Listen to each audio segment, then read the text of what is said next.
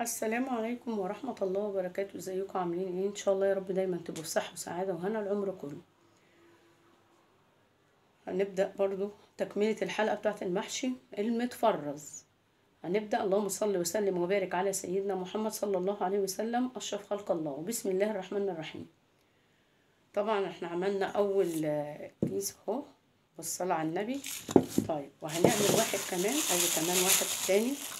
أنا بقول لك أحلى حاجة تعملي الحاجة في البيت نفسي في أي وقت تلاقيه ليه أنا بفك الكيس من فوق. ممكن الرز ما يبقاش إيه كتير ويفضل حبة. يبقى أنا أعمل إيه؟ أنا بقى عشان أحط إيه لو فضل حبه طبعا أدي الأبيض. زي ما قلت لك كده بس عشان التلج بيبقى ماسك فيه. آه. بس هنا بقى إيه؟ أطلع الكوسة وأطلع كمان إيه؟ الفلفل. لأن ده بيستوي بسرعة فأنا هحطه من بصي. بالصلاة على النبي كده حاجة عسل.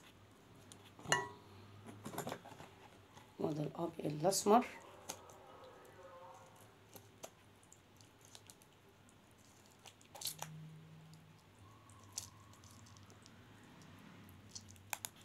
بس ما تملوش للآخر وتبص تلاقيه باظ معاك لا اعمليه معقول بصي هنا اعملي كده بالراحة. لو في واحدة واخدة جنب كده ما تحاوليش ان انت إيه تفتحيها هتكسريها كده. سيبيها وهي مع ال- السوا هتتفتح. بس, بس ده بقى ال- الفلفل بتاعه اهو. لو أنا عملت كده عشان أفتحه بس ممكن يتقطع مني. فأنا بسايسه بالراحة. واحدة واحدة. بص اللي هو إيه بالغطا. بص أهو. فتح. باجي كده بالراحة حشاه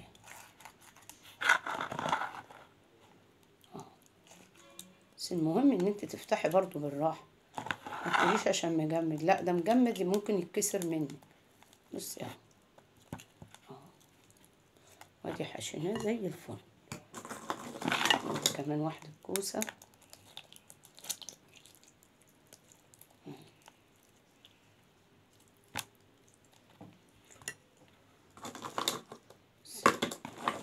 ودي برضو الفلفل التاني. ودي الكوسة اللي إحنا كنا عملناها في الأول. واحدة كوسة كمان تاني اهي. بصي اهو.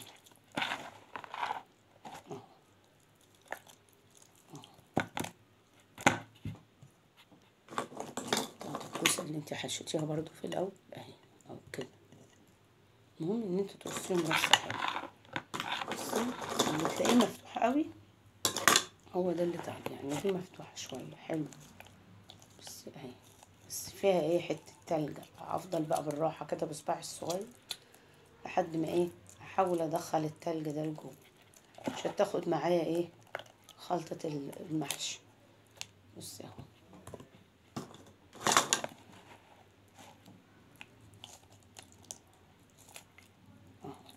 في تلجاية بتبقى صغيرة جوه. أول ما بتفتحيها بصوابعك التلج ده بيروح خلاص.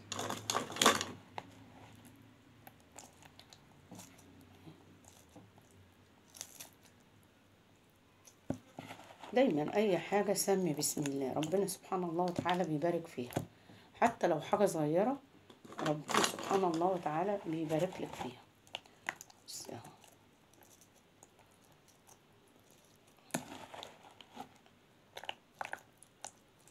أهم حاجة بصي بصباعك الصغير تزنقي كده. بصي عشان ما تبقاش إيه من جوه فاضية. تقومي عاملاها بص تلاقيها فاضية من جوه اهي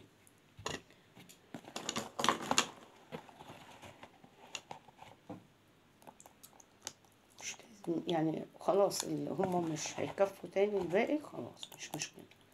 نكفي ونشيل إيه؟ التانيين في كيس اللي إحنا إيه فتحناه. بصي اهو خلاص كده ما عادش فيه تاني. حلوين أوي. كده إحنا عملنا إيه؟ شوية حلوين. كل اللي باقيين بصي باقيين كام واحدة؟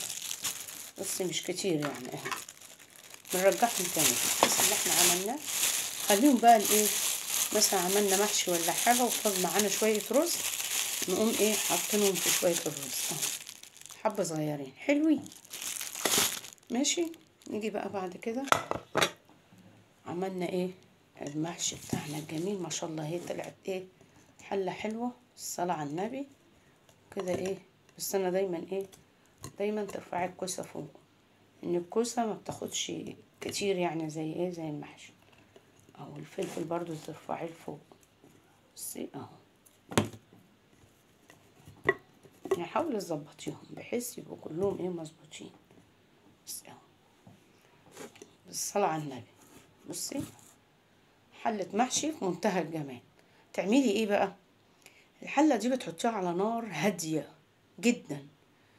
وتسيبيها لحد خلي بالك ده كله بيبقى تلج. وبتبقى الخضار ده شارب مية. عشان مفرزينها. فتسيبيه الأول يشرب المية بتاعته اللي هي بتاعت الخضار. بعد كده بتكشفي عليه. لو لقيتيه استوى ممكن يستوى بمية الخضار دي. ما استواش بتحطي عليه شوية إيه؟ آه شوربة مثلا. طب ما عندكيش شوربة. في بقية ال- ال- الصلصة اللي إحنا عملناها دي. الصلصة دي حلوة جدا حمرا وجميلة. بحط عليه شوية وبحط لها حبة ملح كده بتبقى زي الفل. أو مية عادية وعليها حبة ملح بس تكون مية سخنة. أو مثلا شوية مرقة. المرقة عادي إحنا الناس كتير بتستخدمها هي مش وحشة ولا حاجة. المرقة حلوة. نجيب الفورية. وقلبيها بشوية مية بس ما تحطيش ملح بقى لأن المرقة نفسها بتبقى فيها ملح. بس بتاكلي بقى أحلى حبة محشي في منتهى الجمال. حطي جنبه حبة مخلل ليمون أي حاجة المخلل اللي عندك الجميل. بس بتاكلي انت وولادك بألف هنا وشفا وحاجة انت فرستيها في البيت لا خرجتي ولا رحتي ولا جيتي.